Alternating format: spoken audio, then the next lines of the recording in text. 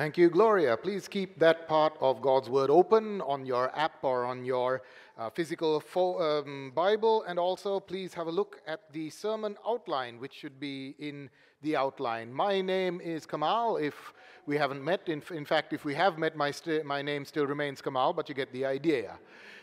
I'm Elliot, in fact, for today. Who here knew that Elliot was supposed to preach? He's got COVID. Yeah, so please pray for him. The symptoms are not too bad. Don't worry, he's not dying or anything, but still. It's interesting that just as we thought that we've achieved whatever it is 95, 96% vaccines, we can open up, etc., etc., bang, we get another uh, bout, another wave of COVID. Let's pray and ask God to bless us by His word. Thank you, Father God, that you speak to us in Jesus Christ, your word made flesh. Thank you for your scriptures, your word written down. Please minister to us now, Holy Spirit, that we would love Jesus more, desire to uh, trust Him more deeply, more thoroughly, and live more consistently for Him. For the honor of your name, Amen. Well, folks, it's coming up to the end of the year, and you know what that means. No, it means review time when we get the credit that we deserve.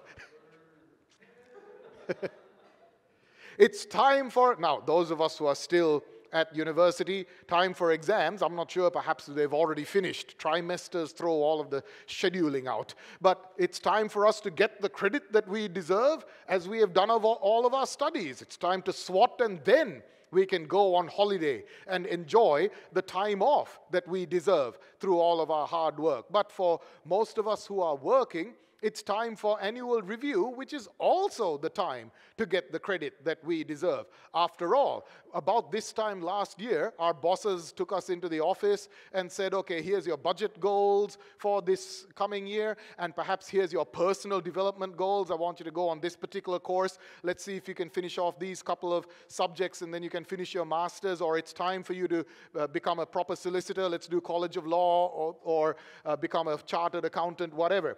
And here we are, we, we've achieved all of those goals. And it's really, really frustrating if we have worked really hard and someone else takes the credit that we deserve. You've probably heard the joke, right? Your boss turns up in a really nice new sports car or something like that, and you go, wow, nice car. And the boss says to you, yeah, if you work real hard and you meet all your goals, I'll get another one next year. You, you get the point. Never mind. A tough crowd, eh? You know. it's we are you we are used to demanding and getting the credit that we deserve, and that's the problem.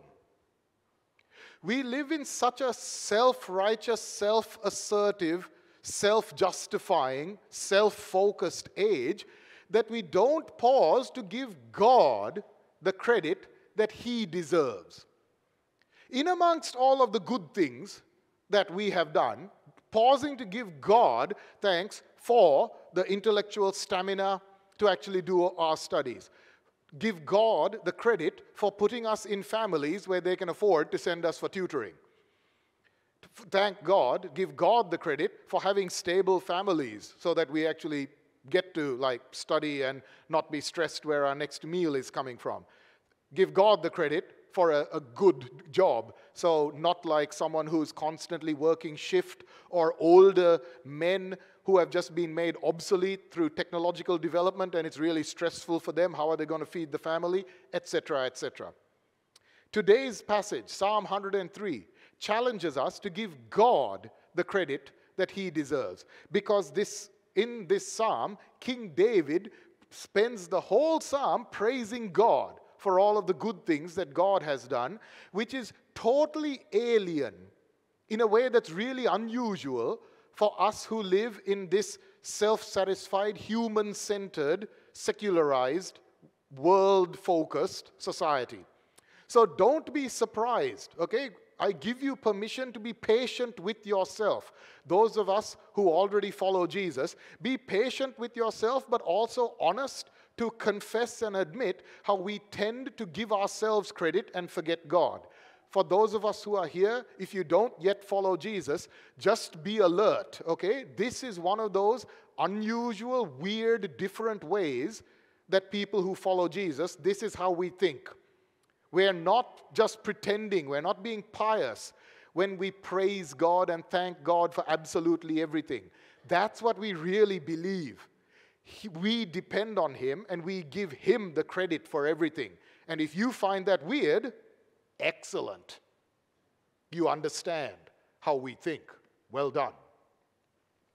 King David starts off. By the way, we know that uh, David wrote this because of the first couple of words in your translation. It says of David, or maybe some tra- translations say Davidic. That's actually Holy Scripture. Okay, it's not from the Bible translators. We can be confident that King David wrote this psalm, and he says, Praise the Lord, O my soul, all my inmost being, from the heart, as it were, from the soul praise his, in, his holy name. Praise the Lord, O my soul. Forget not all his benefits, who forgives your sins. He heals your diseases. He redeems your life from the pit. He crowns you with love and compassion. He satisfies your desires with good things. So your youth is, is renewed like the eagles. We don't know exactly what had happened to King David, but it sounds like he was sick. Heals your diseases. Perhaps he was sick almost to getting dead, okay? Redeems your life from the pit and so on. And now he gives God the credit for making him strong and fit again, like a young man. Um, your youth is renewed like the eagles, okay? Now, folks, in order for us to understand and give God the credit what he deserves, we need to understand what disease is. Okay, come on. We, we know what disease is, uh, especially coronavirus and all that. We, it's, it's a virus. That's what it is. It's, and, and the reason we call it a coronavirus is it, it's got all those spikes so that it looks like a crown. I'm sure we've all seen the um, electron microscope pictures of the thing. In fact, we understand disease so well that we can even give it minute names as it evolves and changes and mutates bit by bit. So we're up to Omicron version 1A, B, whatever it is, I don't know, like the, the immunologists and the virologists give each tiny mutation a name because we can even observe how it changes in, in great detail. So, of course, we know what a disease is, and that's why we should can give ourselves the credit for controlling finally the coronavirus, haven't we? No, we haven't. Why is Pastor Elliot not here? Because he's sick. I wonder. Now, don't put this on Facebook. Kamal says coronavirus is like God's judgment on the world or something, all right? Um, that's, uh, but look, for me, it is kind of interesting that just when we relax and think it's all over, we keep getting hit with yet another wave of this uncontrollable disease. And, and look, you know, it's been inconvenient for us here at church. Not that, well, I hope it's not too inconvenient for you guys to be having me preach rather than Elliot. You can tell me after if it is. But, right, it, it's disruptive. I'm sure many of your workplaces have been disrupted yet again. Perhaps some of us here, it's just really scary and demoralizing. Are we ever going to actually kick this disease? Will I ever get to see my family face to face? Will I ever feel safe? Or will I always, is the new normal a constant low level anxiety that I might get sick, or even worse, that I might pass on this disease to an elderly relative and kill him? Now, if we don't understand disease from the Bible's perspective, I put to you that that actually is the case. After all, perhaps the virus is more evolved than us. We give ourselves credit for having all these variety of, uh, of uh, vaccines against the virus. I mean, we've got the Moderna, we got Pfizer, we got AstraZeneca, we got whatever the Russian ones are. What is it, Sputnik or something? The funny name for the Russian ones. There's the Indian background one. The whole world we have created. We can give ourselves credit. The virus keeps outmaneuvering us. What is disease? Disease is God's judgment on the world in general, not judgment just on non Christians, not judgment on particular sinners or anything, that we are not in charge, that we cannot and should not give ourselves credit that we are in control of this world and that we can therefore give ourselves the good life, the ultimate life, that we can live well. No, we can't. We rely on Almighty God, the God of Israel, Yahweh. Those of us who are regulars at church, you know that the capital L O R D means Yahweh, the Lord of Israel, the particular God of Israel, not just some God out there. Okay? David knows that God heals us. And we should give God the credit for all of the good things that heal our diseases, like all the, the, the um, vaccines that have been developed. It's actually a blessing from God how quickly they were developed, like one and a half years or something. That's amazing. It took, took decades to develop flu vaccines. It took uh, 100 years or whatever to develop smallpox vaccines, etc. So praise God. Let us give God the credit for giving so many scientists and immunologists and virologists and every other ologist that is necessary, okay, the knowledge and the skill. Let us give God the credit for hundreds of years of careful medical research so that we could develop the vaccines. Let us give God the credit for the fantastic medical facilities that we have here in Australia and in Sydney, and perhaps let us pray for the rest of the world where they don't have it. Perhaps some of us know. Look, I'm sure in a group this size, some of us know someone whose life was saved through ventilators. For my dad, it wasn't exactly life threatening, but it sure was better for him that he got the antiviral treatment when he and I got the uh, COVID. For me, it was annoying, one day of quite bad symptoms, then I got better. My dad's elderly and he's fragile diabetic. It could have been dangerous for him. But as soon as he got symptoms, there is a very specific antivirus that has been engineered to attack this virus. What knowledge, what skill goes into that? So it's like an army inside you coming as backup to fight the virus. That's the way the medical specialist explained it to us. It's fantastic. Dad's alive and well, fit and he- healthy, and singing in a choir for Christmas. So let us give God the credit for all of the good things that He does as He heals our diseases. But let us also, in humility, acknowledge that only Jesus Christ, the risen one, can heal us forever. Remember Jesus. He miraculously, genuinely healed people like with a word, with a moment, Jesus did by his supernatural power, because he is the Lord, the God of Israel incarnate.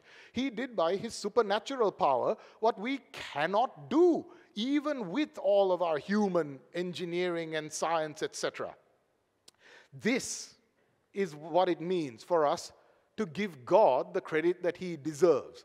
It doesn't mean being down on science, it doesn't mean being like some sort of uh, embarrassed or mocking or denying the achievements of humans. It does mean recognizing that behind all of this stands Almighty God.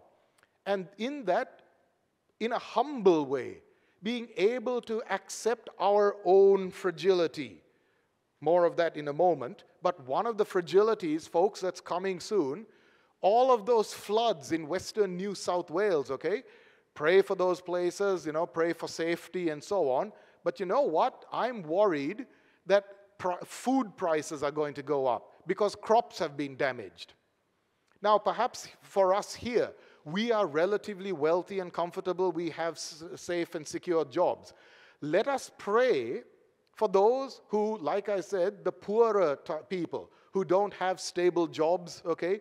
Those who are homeless, living rough because they face domestic violence at home or because of mental illness and so on. It, with the increase in the cost of living, for us it's just annoying. Our takeaway lunch, our takeaway dinner tonight has gone up by one or two dollars. Where life's hard. But folks, for some people, it's going to be starvation territory, okay? It is the Lord who, verse 5, satisfies our desires with good things. Let us pause to recognize, to give God the credit that the food on our plate comes from Him. Let us recognize that the good weather so that the crops grow, or the poor weather that the crops are destroyed, these are from His almighty hand. There's an old hymn.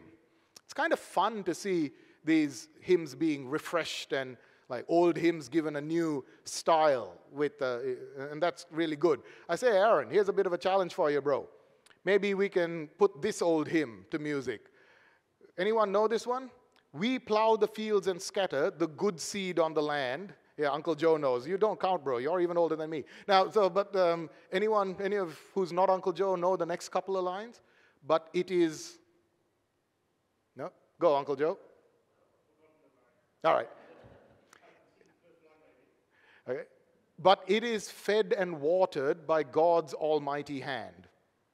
There you go, musos. Let's maybe you know jam up a, a modern version of that for uh, uh, that so that we can sing it and give God the credit for the food that we eat. Everyone, saying grace before a meal is countercultural. It is an attack on the selfish uh, culture of today. You might not think of that, but it is. Why? Because we are giving God the credit for our food. I worked hard for that. I deserve to, what I eat. I deserve the fine dining. I deserve. No, we don't. And God can send the flood, as it were, and take it from us. So let us be like King David. Let us rejoice and give God the credit for all the goodness and the wholesomeness that we enjoy in this life. Okay? Again, not mocking or denying the human effort that goes in plowing the fields, the human effort that goes in creating clean water, in um, creating the healthy food, the safe safety requirements that go into safe food, etc. We don't need to mock that, but behind all of that stands a good God. Let's give him the credit for all of the goodness that we enjoy in this world, and then let us give him the credit for forgiving our sins and removing our sins so that we can enjoy eternal life. Let us read verses 6 to 12 verse 6 to 12 of Psalm 103. The Lord works righteousness and justice for all the oppressed. He makes known his ways to Moses, his deeds to the people of Israel. The Lord is compassionate and gracious, slow to anger, abounding in love. He will not always accuse nor will he harbor his anger forever. He does not treat us as our sins deserve, or repay us according to our iniquities. For as high as the heavens are above the earth, so great is his love for those who fear him. As far as the east is from the west, so far has he removed our transgressions from us. Folks, when we read verses 6 and 7, those of us who know the Bible, when we think of God's righteousness and justice and revealing to Moses the law, we think of the requirements, the demands that God puts upon us to live his ways. Look, that's not entirely wrong, but in the context here, what King David seems to be focusing on is the way that God has promised to forgive those who put their trust in the sacrificial system, because that also was part of the law. Here, uh, um, what King David seems to be referring to is the second sacrifice of the Day of Atonement. Again, those of us who are familiar with the Bible, we know in Leviticus chapter 16, the great Day of Atonement. And perhaps, uh, and even we've mentioned it in today's catechism, how Jesus Christ, why did the Redeemer have to die? Why didn't Jesus just come and teach us how to live a better way? That's what Islam says. That's what the Muslims think, that Jesus is a prophet. Okay? Yes, he is a prophet, but he's more. Why could, that's what the Hindus think. A Hindu would be very happy to accept Jesus as their guru, to teach them how to worship properly. But they stop there. Okay? Why did the Redeemer have to die it's because he was the first sacrifice of the Day of Atonement, Leviticus chapter 16, where the priest takes an animal, a goat, and puts it on the altar and kills it in a very literally bloody and visceral and visual way, showing that this is what sin deserves. This is the result, the punishment for turning our back on Almighty God, the one who created us and to whom we owe literally everything. Now, again, because we live in a self focused, arrogant, self righteous era, don't be surprised, even those of us who follow Jesus, if you sort of squirm a bit and think, you know, death for sin, that's a bit intense in it. Folks, think of it this way Imagine the, the nation, if it was one group of people on earth who were closest to God.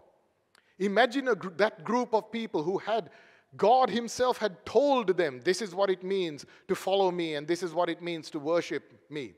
And then imagine the religious leaders of that nation.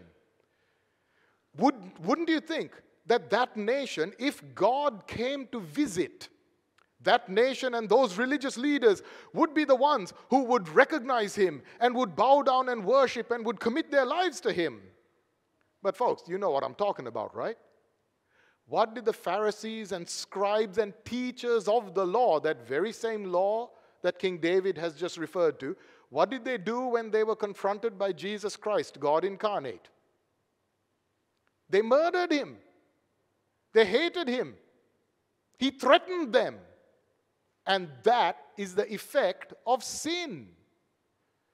We hate God. We want to murder God because that's what the most righteous, supposedly godly people did we tend to give ourselves credit that we don't deserve. We think of ourselves as good people, as even good Christians, because we come to church. Oh, I've reserved my sexuality until I got married, not like those um, uh, non Christians that sleep with everything um, that moves. I've, like, I know to worship Jesus properly. I believe in one God, not like those Hindus who worship, worship anything that moves and lots of things that don't. We tend to give ourselves credit that we are good people even good Christians. Let us remember that it's the religious people that murdered Jesus. But the amazing thing with that is that Jesus took that as our sacrifice, but all of that is a bit of background for today's passage. Here, when King David talks about he, that, that God removes his sin as far as the heavens is from the earth, as far as the east is from the west, he's talking about the second sacrifice. Who here has heard of the scapegoat? Anyone heard of the scapegoat in Leviticus 16? Again, Joe, you don't count, bro. You studied theology, you're a preacher. Come on. Who else? All right, Jaden. What's the scapegoat, bro? Yeah, just tell us what you remember.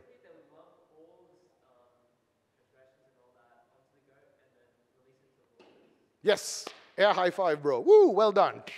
Okay. The scapegoat, the word scape comes from to escape, okay? Except the scapegoat doesn't really escape. So the priest would kill one goat, but symbolically, just like Jaden said, the priest, on behalf of the people of God, Israel, right, representing Israel, he would put all of the sins of the people on the scapegoat. Symbolically, you don't see anything happen, right? And then the scapegoat is led out into the wilderness, just like Jaden said, and it dies in the wilderness. Now, just put yourself in the shoes of a Israelite man or woman, right?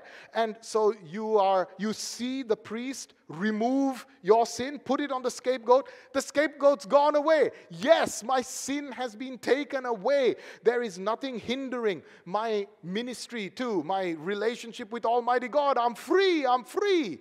That is how King David feels right here as far as the as high as the heavens are above the earth, as far as the east is from the west. He has removed, he has taken away the guilt, the shame, the fear, the judgment of our sins. Folks, let us bask, let us rejoice in how Jesus removes, he forgives in a judicial way, absolutely.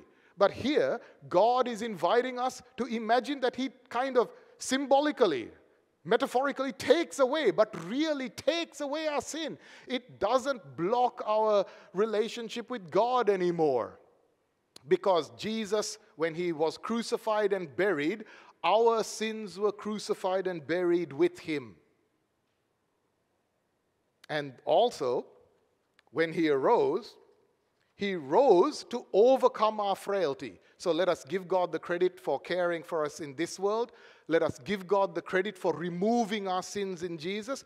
And let us give God the credit for in Jesus' resurrection overcoming our fragility, our frailty. Verses 13 to 18. As a father has compassion on his children, so the Lord has compassion on those who fear him, for he knows how we are formed. He remembers that we're only dust.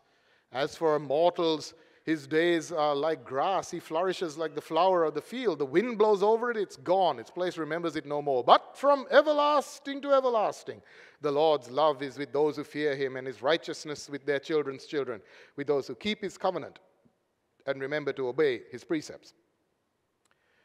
When God created us as humans, he created us with a vulnerability and a, a, need to rely on him. But God intended us to live with him forever, to enjoy life with him forever. Adam and Eve in Genesis uh, chapter 2, they were not meant to die. They were meant to party with God and rejoice with God and have children, okay, forever and ever, filling the earth and ruling over the earth as humanity, God's vice regents. That's the joy and pleasure and adventure that God intended for humanity. So, why do we get sick? Why is it so frustrating? Why do our plans never work out? Etc., etc. Why is there even death because we have turned away from God? But Jesus Christ. Jesus, when he came to earth, he shared in our fragilities. Think back, those of us who are regular at church, remember even what the earlier questions, a couple of the earlier questions of the Catechism said about how Jesus, the Redeemer, is fully human. There was um, there, were, there have been one of the catechism questions, even uh, one of the catechism answers, talked about how in his full humanity he can sympathize with us, yet overcome sin. That means, and look, you know, scriptures are fairly straightforward on this. Jesus understood our frailty, he understood our weaknesses. Sometimes when we think of Jesus, we say, oh, yeah, but he's God, you know, what, mm, he doesn't get it. No, he totally gets it. The Bible doesn't tell us, did Jesus ever catch flu? Okay? Doesn't say. But he could have, because his bodily immune systems would have been just as normal as us. Did Jesus ever stub his toe and go, ow? Okay? Did he ever have a broken bone? Well, it says none of his bones were broken, but that means a cross. We don't know. Okay? But you understand my point. Just like King David suffered the fragility of becoming sick, perhaps even close to death, and then praise God, he recovered, right? Which is the occasion for this psalm. Jesus could have. And so, folks, do not despise and mock this Jesus. He understands. Bring all of your fragilities. We can bring all of our woes, all of our anxieties. We're focusing on physical ailment because that's the context of this psalm. But bring your concerns about work, perhaps your, I said, I've been assuming that we are all relatively like uh, stable in our jobs and so on. Let's not assume that. The whole global economy is in spasm because of this useless and an unnecessary and tragic war in Ukraine and because of the ongoing effects of coronavirus. Perhaps your jobs are fragile. Bring that to God. He understands the fear that you won't be able to pay the bills, that you won't be able to like have the, the dignity of a career that you expected to have. Are you in relational strife? Is, it, is your family, your parents, or your spouse, is there a fracture there? Bring all of those fears to God, bring them to church ministers as well. We are here to help you. But Jesus understands. He knew what it was, what it felt like to be misunderstood by his parents. Luke chapter 2. He, he knew what it was like to even as an adult have his mother and brothers say that he's lost it, he's nuts. Mark chapter 4. Bring your woes to Jesus, and then he can give us the everlasting life. From everlasting to everlasting, the Lord's love is with those of us who fear Him, who worship Him. Jesus Christ is the risen one who has finally overcome completely all of our fragilities. Again, because we tend to give ourselves the credit, we think that we can overcome human limitations through technology. So let's, you know, cryogenic freezing, and then sometime in the future I'll be raised to live forever or like we through uh, cyborgs and through replacement of body parts we can live forever. Or through some sort of enhancement so that i become a, an android or a, a, a superhuman a transhuman. Perhaps now here's a really interesting one that i read and i'm like whoa this is full sci-fi. Getting uploaded digitally so that we transcend our actual physical limitations and become like a computer program. And then get squirted out into the universe or something i don't know Okay, we give ourselves credit. Everything I've just said is sci fi so far, okay? But we give ourselves credit that we can overcome human limitations. Trust Jesus. He's overcome death itself. And he has done it in real space and time history, which is not fiction. The people who saw Jesus rise from the dead, or rather, saw his resurrected self, nobody literally saw Jesus the moment he rose, they did not expect it. Folks, why did the women go to the tomb? Genuine question. Someone just say. They went to the tomb to do what? Did they go to watch like the spectacle of Jesus rising from the dead? Come on, somebody really say, why did the women go to the tomb? Someone gave a spicy answer. Go on. Say it loud. Come on. To, they went to dress, to like take care of a dead man. They did not expect him to be risen. How did the disciples react? I won't expect you to remember this. How did the disciples react when the women went back saying, The tomb is empty, we saw the risen Jesus? They laughed at them.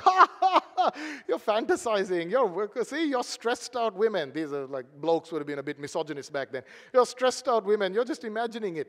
The disciples didn't expect it, nobody expected it. Jesus Christ has overcome our frailty the one who understands and inhabited our frailty. He has overcome it, and now, when we put our trust in Him, he, we can live forever, not in these dusty bodies that are like um, the, just the grass on the field. And again, it is good for us to feel the limitations. Perhaps those we, whether we trust Jesus or not, perhaps we are truly anxious about this coronavirus, the economy, okay, wars and rumors of war, and it's just really stressful. Do not let it, do not fear, do not let that anxiety like gut you. That is not good. Bring it to Jesus, bring it to your community group, bring it to other Christian friends, and let us discuss those fears. But, folks, the humility, humility is not the same as fear. Okay? the humble acceptance of our limitations and a joyful trusting in Jesus, that can only be good. Uh, because that will motivate us to remain faithful to God's way, His covenant. Just let me quickly explain verse 18 those who keep His covenant and remember to obey His precepts. I briefly said that back at the beginning when uh, King David talks about uh, God's righteousness, Yahweh's righteousness that he taught to Moses. It's true that God really did want the people of Israel to incarnate the godly life. That's what the law is, okay? Back in the what we call the Old Covenant, the Old Testament. What God wanted was for the people of Israel to learn his ways and in their relationships with each other, demonstrate to the whole world look, this is the good life, all right? This is what it is to live with Jesus, uh, with God as your boss, as your king.